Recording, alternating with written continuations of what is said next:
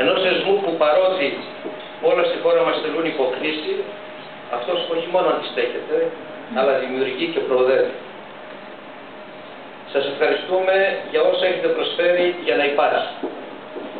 Αλλά την άμα να είναι και τόσο σπουδαίο το φεστιβάλ Σας προσκαλούμε όλους, παλιούς και νέους, να συνεχίσουμε το όμορφο ταξίδι στον πολιτισμό. Ταξίδι που ξεκίνησαν κάποιοι ανήσυχοι και ρομαντικοί συμπολίτες μας πριν 40 χρόνια.